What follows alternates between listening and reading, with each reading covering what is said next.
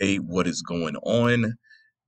If you're using Bing ads, you are lose you're leaving a ton of money on the table. I can almost guarantee you. I'm going to go over that in this video. I'm going to show you how to fix it.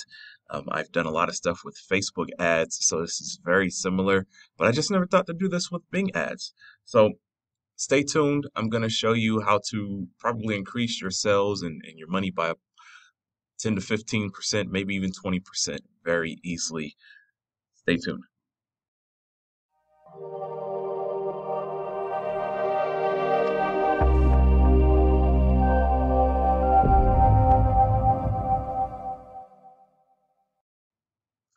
All right, now that we got the little corny intro out the way, I'm Antonio Carter, Antonio X Carter, uh, teaching people how to make money online, affiliate marketing, all types of all that other stuff, Shopify stores and, and good things.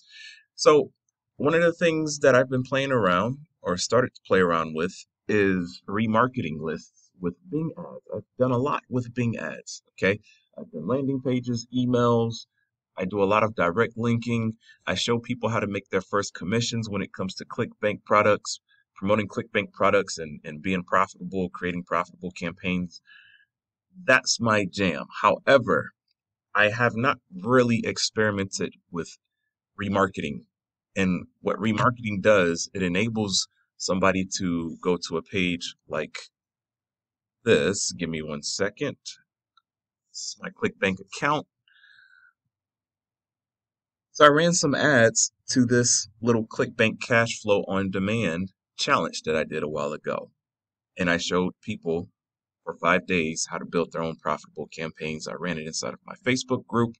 It's going to open up again probably in February, somewhere around there. Uh, you can go ahead and sign up for it. It's a wait list.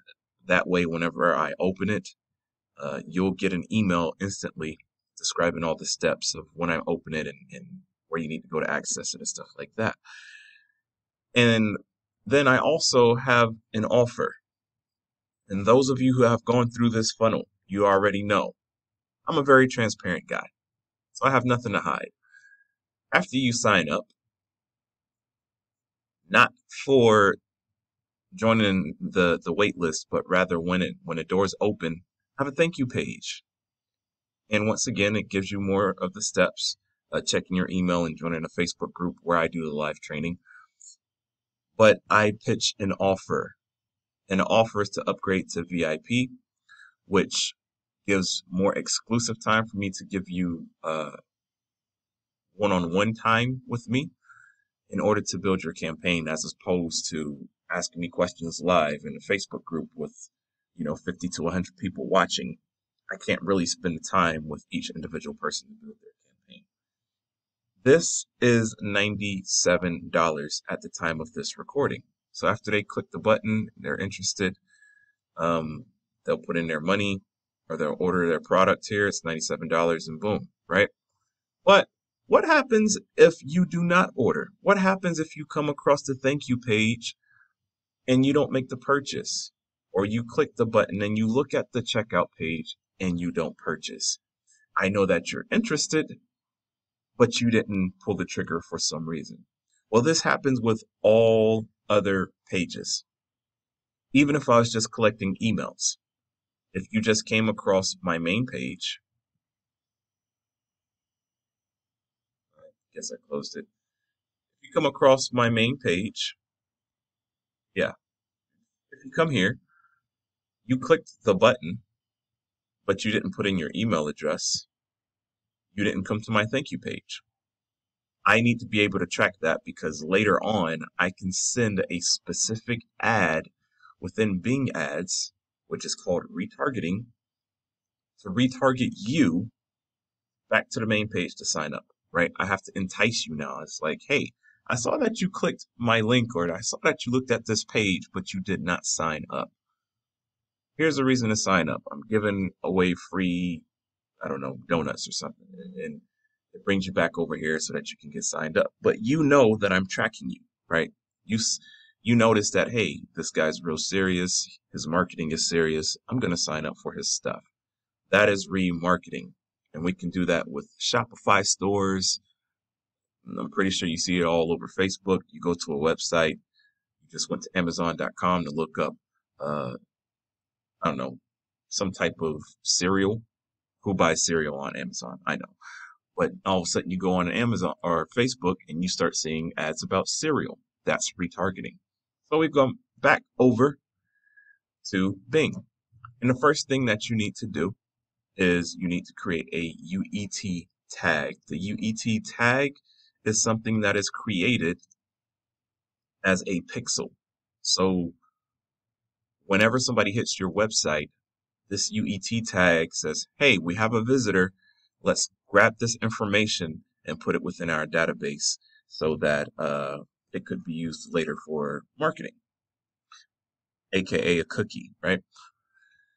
Um, in order to create a UET tag, you hit this create UET tag. It gives you a code and then you paste it in the header of your website. I'm not going to go over that because I already created a video on that. So uh, check somewhere on this video um, and, and, you should see a picture of it. You can click that picture or something um, and you'll, you'll be able to watch that video. It's pretty quick, it's short. After you've done that, you can see this one here called five day challenge. After you've done that, you are then going to come to audiences. And we are creating an audience of people who hit this page but do not check out. And so I already did it here. Five day challenge. Thank you page, but no purchase. I just created this, okay? This is things that I'm coming across I haven't been able to test it. I don't have no no data about it because I just got off the phone with a Bing Ads representative to help me with this. I have not tried this with Bing. And then you hit Create Audience, and you name your test remarketing audience. And it's going to ask you what type you're going to hit remarketing type or remarketing list, not dynamic, not custom combination. You want remarketing list. Then you're going to hit next. And remember that UET tag that we created earlier? This is where you do it. And I would select that one. Then it's going to say who to add your audience. And we're going to select a few things. So there's various different scenarios. Maybe you just attract people who hit one page this would be very attractive to somebody who has a blog and they just want they, they want to be able to track individuals who just hit their page, their blog page with their new blog posts. Or somebody such as myself where I'm saying, hey, visitor of a page who did not visit visit another page.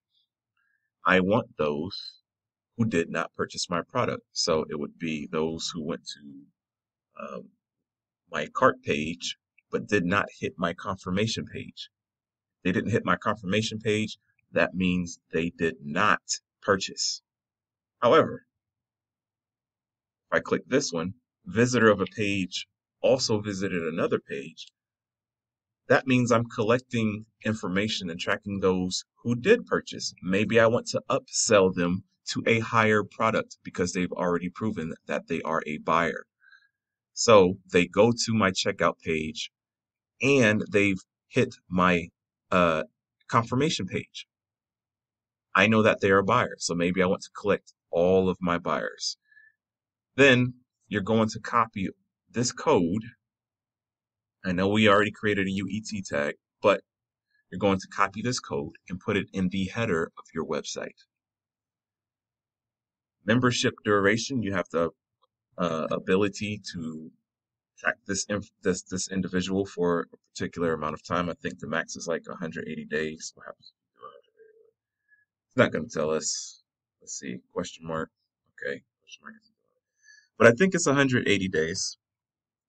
And the reason this varies is because certain products have different durations. So if I was selling a car, maybe I want to track the person for 30 to 60 days because everybody doesn't see a car today and then make the purchase tomorrow. It doesn't work out that way. You got to get pre-qualified.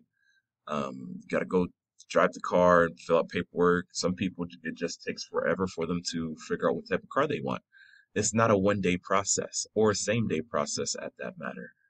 Um, And if it is a same day process for buying a car, that means they've done the research for quite some time. Now, for those who just simply want to sign up and get a freebie, maybe I want that to be 30 days or three days. Okay.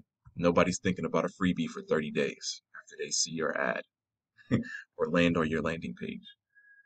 But if I'm doing add to cart, um, my challenge is a five day free challenge. I typically create my pages uh, to be about a month out. I may want that to be 30 days. Okay. And then that is my account. I'll probably blur that out. Hit save. It's giving me an error. Nope. After you hit save, it will go over to the other product. So I'm just going to do google.com, facebook.com. I knew I didn't put some information somewhere. Save. All right, cool. Now we need to go back over to our campaigns. I'm not going to create a new campaign in order to do this. I'm going to select one that's pre-existing. If you want to learn how to create a profitable campaign from A to Z and everything in it as a tutorial, I've created an hour long video for you so you can walk through it. I literally, you, you watch me do it from, from A to Z, literally. So now you go to the campaign. In this particular campaign, I have one ad group. And so what I would do is I would go to audiences under that campaign I would select remarketing lists. Actually, I wouldn't select remarketing lists. My apologies. Create association.